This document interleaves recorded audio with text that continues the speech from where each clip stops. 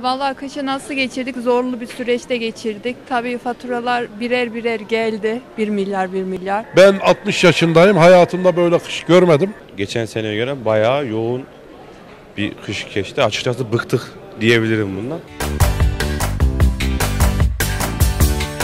Kayseri bir kış mevsimini daha geride bıraktı. Biz de Rast Sokak'ta ekibi olarak Kayseri halkına bu kışı nasıl geçirdiklerini sorduk. Bakalım nasıl cevaplar aldık. Ee, İnşallah yağışlarımız devam eder. Bu sezonun bereketli olmasını diliyorum herkese. Ee, ne kadar yağmur, kar yağdı. Çiftçimizin o kadar yüzü daha çok gülecek. Evet çok soğuktu. Ee, ekonomik olarak da yani zor geçti. Ulaşımda bir aksaklık yaşadınız mı? Ee, yok yaşamadık. Peki bugünkü kar yağışından nasıl etkilendiniz? Ya bugünkü kar yağışı da tabii ki soğuktu. Beklemediğimiz bir şeydi. Artık Mart geldi havalar düzelecek diye düşünüyorduk ama iyi ya. Hazırlıksız mı yakalandınız? Tabii ki. Tabii ki. Vallahi kışı nasıl geçirdik? Zorlu bir süreçte geçirdik. Tabii faturalar birer birer geldi. 1 milyar 1 milyar. Hem soba yaktık hem de doğalgazı yaktık. Isınamadık tabii ki. Vallahi Allah'ım yardım etsin herkese. Ulaşımda da işte tramvayla. Öyle gittik geldik evde ne kadar kıyafet var üstümüze dağıtık gezdik. ya öyle oldu çok soğuktu. Rabbim olmayanlara da bol bol versin. Kışın böyle bir bereket getireceğini falan inanıyor musunuz bu hasatlarda falan? Yani bu Mart ayının karı çok güzel oldu. Çünkü yazı çok güzel geçireceğimden eminim ve bağ bahçeye hele ki böyle ekine onlara çok faydası olacağına yani bir nevi eminim. Çünkü artık toprak da suyunu çekti, güzel de verim vereceğine kanaat getiriyor. Niye dersen eskilerimiz hep öyle diyor. Çünkü e, Mart karı çok iyi geleceğine inandığımız için hani. Kışın böyle bir ulaşım engeliyle falan karşılaştınız mı bizzat yoldayken? Valla e, çok kalmadım. Ben tramvayla gidip geldiğim için çok kalmadım ama e, tramvayla gidip gelirken de eşim araba sürdüğünde o çok bayağı zorluk çekti mesela. Hele bir de yakıtı da söylersek hiç sormayın onu. Yani çok tuttu aşırı derecede. Ben 60 yaşındayım. Hayatımda böyle kış görmedim. Ama e, iyi noktadan düşünecek olursak yağmur, kar sonuç olarak e, tarımın verimli olduğu, barajların dolduğu, ekonomiye güzel yansıyan sonuçların olduğu neticeler. Yani ben memnunum yağışlardan.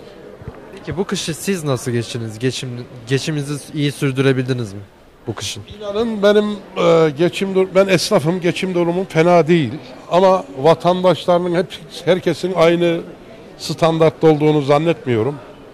Memlekette çok sıkıntılı e, ekonomik sıkıntısı olan, istediği ihtiyaçlarını alamayan, bunun acısını çeken çok insanlar olduğunu zannediyorum. Kendim de gücüm nispetinde e, herkese dokunmaya çalışıyorum gücüm nispetinde. Şimdi e, kışın ulaşım engeliyle falan karşılaştınız mı? Böyle yolda kaldığınız falan oldu mu? Kayseri'de önemli bir sıkıntı olmadı. Yani gayet iyiydi. Belediye hizmetleri falan iyiydi. Yani bir iki saatte her şey normale döndü genel olarak. Yani Bir yo- yollara çıktı. yo, yo, hiçbir sıkıntı olmadı. Ben sürekli iş yerine gidip geldiğim için biliyorum. Yani bir iki saat sonra her şey normaldi. Geçen seneye göre bayağı yoğun bir kış geçti. Açıkçası bıktık diyebilirim bundan. Herhalde Nisan'ın 15'ine kadar da böyle devam edecek. Ee, zorunluydu. Zorlu bir kış geçirdik dedi. Peki bir engelle falan karşılaştınız mı kışın ulaşımda falan? Tabii. Ya dediğim gibi bu sene bayağı bayağı bir zorlandık. Hani şehir dışı programı çok olmasa da organize sanayi bölgesinde esnaflık yapıyorum ben. Orada ulaşımda bayağı zorlandık. Yetişemediler. O dağ yolunu açmada, e, organizenin ana arterini aş- aşmada yetişemediler. E, maddi olarak da doğalgaz faturaları zaten başta başına, elektrik faturaları başta başına. O konuda biraz dertliyiz. Peki kışın geçiminizi böyle iyi sağlayabildiğinizi düşünüyor musunuz? Ya ben çok önemsemiyorum açıkçası. Hani şimdi insanların ihtiyaçlarına göre değişir bu. Kimi için iPhone ihtiyaçtır, kimin için normal bir telefon ihtiyaçtır. Kimi için dışarıda lüks bir lokantada, restoranda yemek yemek ihtiyaçtır. Kimi için de evine bir et almak ihtiyaçtır. Ee, ben stabil yaşadığım için çok önemsemiyorum ya. Ama e, gerçekten zor. Bugün asgari ücrete baktığın zaman 4250 lira bir asgari ücret belirlediler. Ee, belirlediler ama onun üstüne %200, %300 zam geldi. Hayat şartları çok zor. Ama zoru dillendirmemek lazım. Şimdi yayınlara, programlara bakıyoruz. Birçok insan çıkıyor böyle bağırıyorlar, çağırıyorlar. Doğrudur, kabul. Geçim şartları zor. Keşke böyle olmaz zorunda olmasaydı. Çözüm odaklı mı olunmalı sizce? Her zaman çözüm odaklı olacaksın. Abartmanın alemi yok. Tamam kabul. Doğru. Çok zor. İnanılmaz zor. Şu an mesela biz malzeme alıyoruz.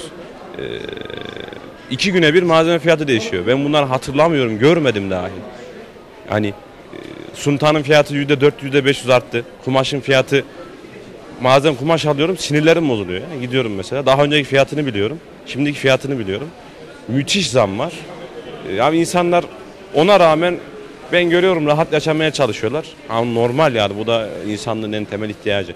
Ha dediğim gibi ihtiyaçlara göre insanlar konuşuyor. ihtiyaçlarına göre yaşıyor. 5 kişilik bir ailenin eğer ki asgari ücretle geçiniyorsa geçinmesi çok zor.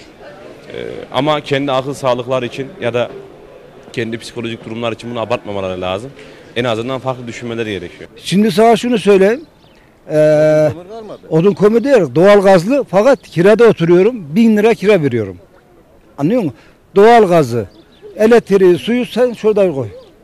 Arkadaşım öyle de, giden ay elektriği, suyu şu adam ödedi. İstersen inan, istersen inanma. Allah şahit buna. Ama ne yapayım? Yani ailenız böyle faturalarınızı ödemenize bile yetmiyor şu anda. Ya, gerçeği konuşuyor. Ya bin lira ev kirası. 800 lira, 400 lira da 460 lira da doğalgaz. Elektrik, su şurada dursun. Aha elektriğimiz suymuş gider üçünü de bu adam ödedi. Elektrik faturaları yüksek. Her şey su faturaları yüksek. Hiç- Bir ev bir ayda elektrik, su, doğalgaz 1 milyar para veriyor. 1 milyon. Eski parayla 1 milyar. Her şey yüksek. Kışı nasıl geçirdiniz? Ya geçtik ama öyle ayağımıza battaniyeyle geçirdik. Doğalgaz açamadık. Yeterince ısınamadınız galiba. Tabii ısınamıyoruz. Yeteri kadar nereye ısınacaksın? Isınsan da doğalgaz 708 lira 708 lira geliyor. Elektrik fazla geliyor, su fazla geliyor, doğalgaz fazla geliyor. Zaten emekli adamsın. Peki ulaşımda falan bir zorluk yaşadınız mı bu kış? Yok, ulaşımda zorluk yaşamıyoruz. Ulaşımda hiçbir sorun yok. Yani yollar açıktı kışın değil mi? çıkılıyor. E, Bazı kapalı olur ama e, belediye yetişemediği yerler olur yani bu şimdi belediye bir taraftan açıyor bir taraftan kapanıyor yetişemeyebilir. Yetişemeyebilir olur yani onlar. Sabah saatlerinde okula gidiyoruz. Ulaşımda sıkıntı oluyor, kalabalık oluyor. Onun dışında bir sıkıntı yaşamadım. Peki geçinebildiniz mi bu kış? Nasıl oldu? Geçirdik yani iyi kötüsüyle bir şekilde geçti. Faturalarız oldukça zorluk çekerek ödüyoruz. Ee, kış da çok ağır geldi. Ekonomik olarak zaten e, ülkenin durumu malum. Her gün zam zam zam yüz yüzde yüz elli. Tüp gaz geçen sene e, yü- 120 liralık olan tüp gaz 301 liraya çıktı. Onun için baştakiler de maalesef halkın sesine kulak vermiyor.